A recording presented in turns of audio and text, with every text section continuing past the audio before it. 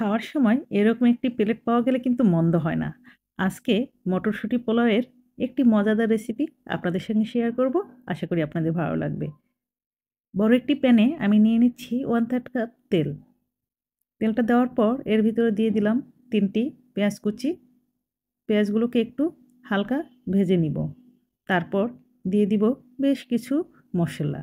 এর ভিতরে আছে জিরা, দারচিনি, এলাচ, লবঙ্গ, গোলমরিচ তারপর তেজপাতা, জয়ত্রী ইত্যাদি। মশলাগুলো দিয়ে আবারও একটু ভালো মতো নেড়ে নিচ্ছি। হালকা একটু ব্রাউন বর্ণ হয়ে গেলে দিয়ে দিচ্ছি এক চা চামচ রসুন বাটা আর এক চা চামচ আদা বাটা।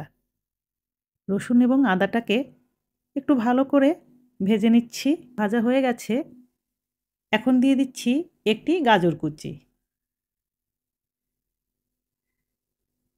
গাজরটাকে আমি মিনিটখানে ভেজে নিব। কারণ গাজরটা একটু শক্ত থাকে তো, এই জন্য আগে দিয়ে দিলাম। আর এখন দিয়ে দিচ্ছি দেড় কাপ মতো মটরশুঁটি। চুলার তাপ কিন্তু বাড়ানো আছে। মটরশুঁটিটাকে আমি প্রায় এক মিনিট ভেজে নিলাম। এখন দিয়ে দিচ্ছি দুই চা চামচ মতো কাঁচামরিচ বাটা। ফ্রিজে ছিল, ওই জন্য শক্ত হয়ে আছে।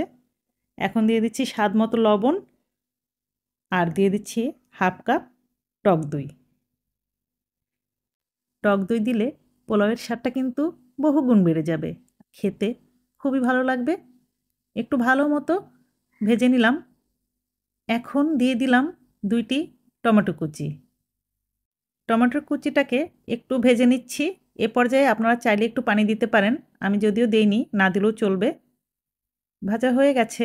এখন দিয়ে দিচ্ছি আমি তিন কাপ চিনি গুঁড়া পোলাওয়ের চাল। চালটা ধুয়ে পানি ঝরিয়ে রেখেছিলাম।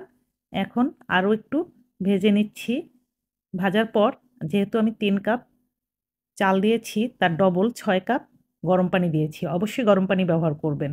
আর ডবল পানি দেওয়ার ফলে চালটা ভালো মতো ফুটবে এবং পোলাওটা হবে অসম্ভব রকমের ঝরঝরে। দিয়ে দিচ্ছি কয়েকটি কাঁচামরিচ। এখন ঢেকে ফুটে ওঠা পর্যন্ত রান্না করব। ফুটে উঠেছে। এখন ঢাকনা খুলে একটু নেড়ে দিচ্ছি।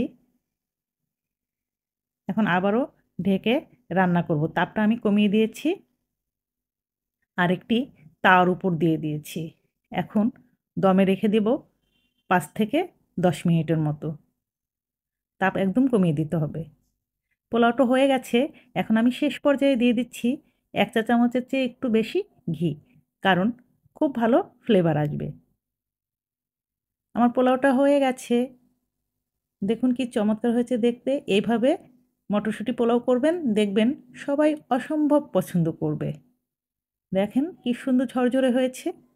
আর এটা কিন্তু খেতে অসম্ভব স্বাদের হবে। আপনারা অবশ্যই বাসায় ট্রাই করবেন। ডিয়ার ভিউয়ার্স যারা এখনও আমার চ্যানেলটি সাবস্ক্রাইব করেননি, তারা প্লিজ সাবস্ক্রাইব করবেন। আর যারা ফেসবুক থেকে দেখবেন, তারা অবশ্যই আমার পেজটাকে ফলো করে রাখবেন। আর আমার ভিডিও যদি ভালো লাগে, অবশ্যই কিন্তু একটা লাইক দিতে ভুলবেন না আর কমেন্ট করে আমাকে জানাবেন। ডিয়ার ভিউয়ার্স নতুন নতুন ভিডিও দেখতে আমার চ্যানেলটির পাশে থাকবেন। আমার জন্য দোয়া করবেন। আপনারা সবাই ভালো থাকবেন। আজকে এখানেই বিদায় নিচ্ছি। আল্লাহ হাফিজ।